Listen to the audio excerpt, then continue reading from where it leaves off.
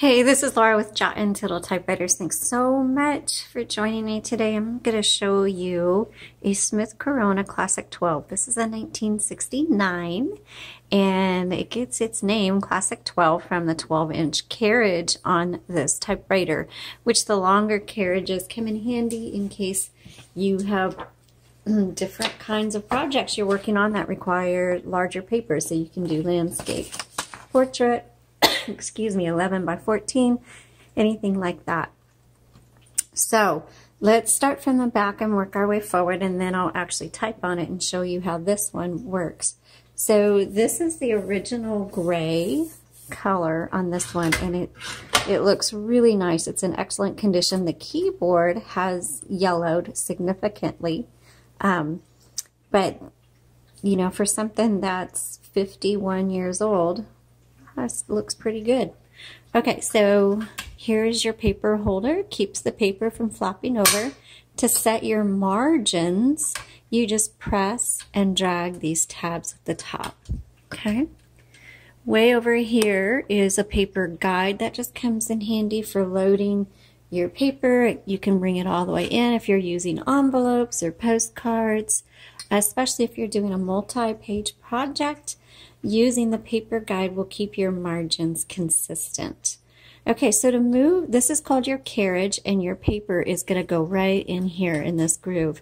Now to move the carriage, when you're not typing, you there's a lever behind each of these handles on each side, and you just pull that forward while holding on to the carriage because the, there's tension and the carriage is going to want to pull, and you just you can go back and forth. Now the carriage will move only as far as you have the margins set.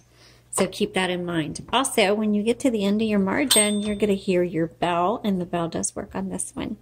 Um, and then when you hit your margin, the typewriter is going to completely stop. Some people don't realize this. And there's nothing wrong with your typewriter. You just need to hit your margin release, which is this button right here. It says MR. You hit that, and now you can keep going. Oops. Hold on, let's do that again. There we go. This is an all manual typewriter. However, it also happens to have a half space, regular space, and a power space on it, even though it's a manual. Okay, right here on the right side, this lever, when you pull it forward, it releases the, it moves this bar, metal bar down here that looks like a ruler, and it releases the tension on the paper. And that way you can adjust your paper if it's crooked. Over here on the left side is, you'll see a one, two, three, and that is your line selector, because when you hit your return handle, it's going to advance either one, two, or three lines. Now, way down here, you can barely even see it, and you probably wouldn't even notice it if I didn't point it out, is a little metal lever. Now, before I show you what that does, when you turn the handle on the roller, you can hear it click. Okay, it clicks every half of a line.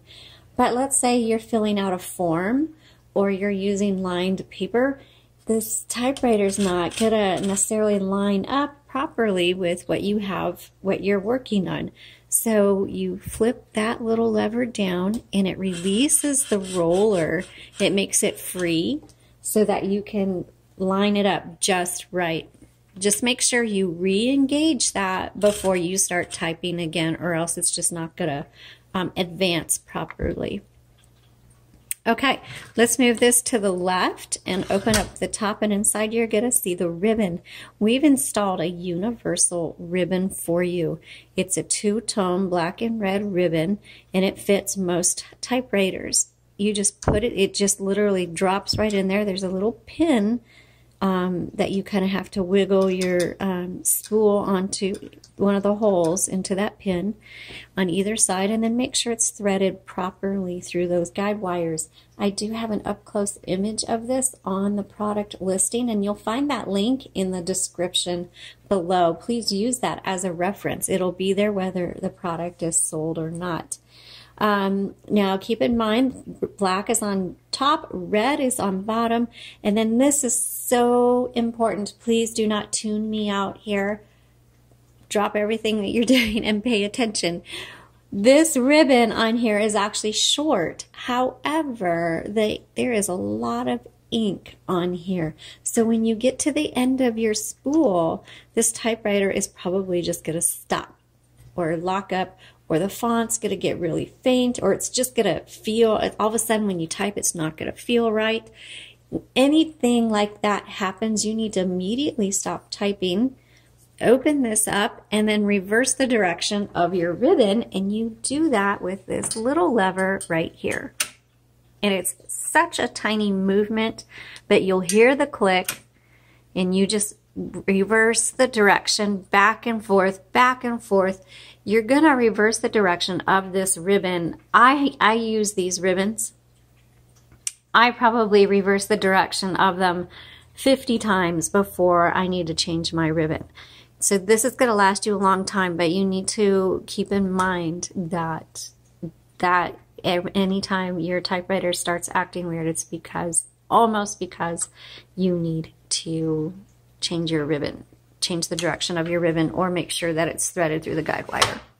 So LMH means, um, I guess, light, medium, hard, something like that. So it's just personal preference. I personally don't really find much of a difference. Here's your tab. You press that to tab. Set is here. Clear is here. Um, and then your color selector is over here on the right side. I already showed you the space bar. Let's go ahead and load a piece of paper and do a typing demo. Okay, so I am going to bring my margins in because I like narrow margins for typing demos. And then what you do is you just put your paper kind of close to that guide um, the paper guide over there. I don't push it up real close because as you thread it, sometimes it kind of gets caught in that guide.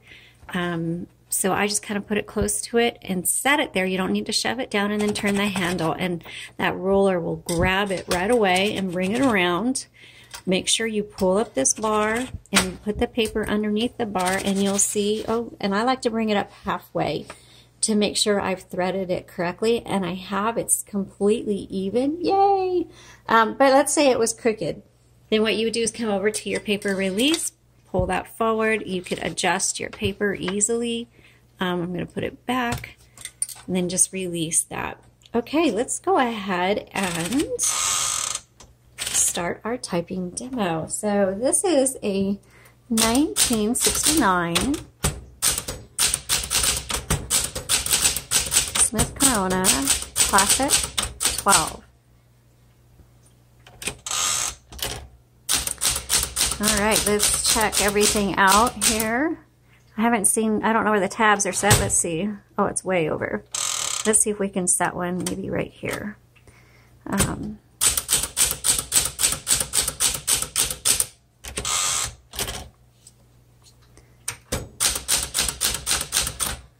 whoops.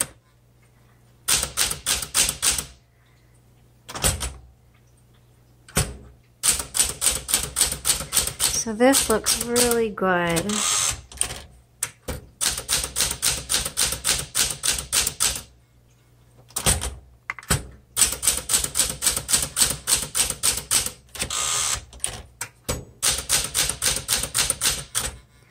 If you hit two keys at once, that's what happens. And, oh, I guess I should have, let me do that again. Hit two at once, then this little key over here, if you hit that, that brings them back down or you can just tap them, whatever you want. And then this is your backspace because I got it, it advanced and I want to backspace my carriage and then I can keep going.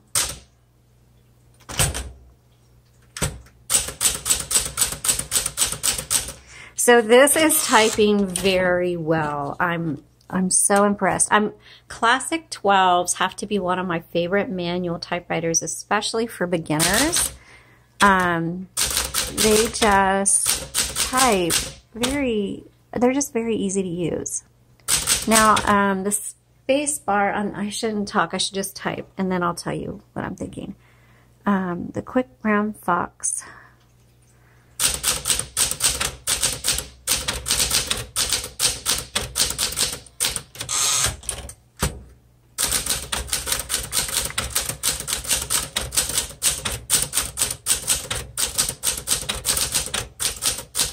Whoops, backspace. So when you make a mistake, you just backspace. Lazy dog. That's right, lazy dog. When you backspace, when you make a mistake, just backspace and type over it, X through it, line through it, whatever you need to do. Let's try the red ribbon.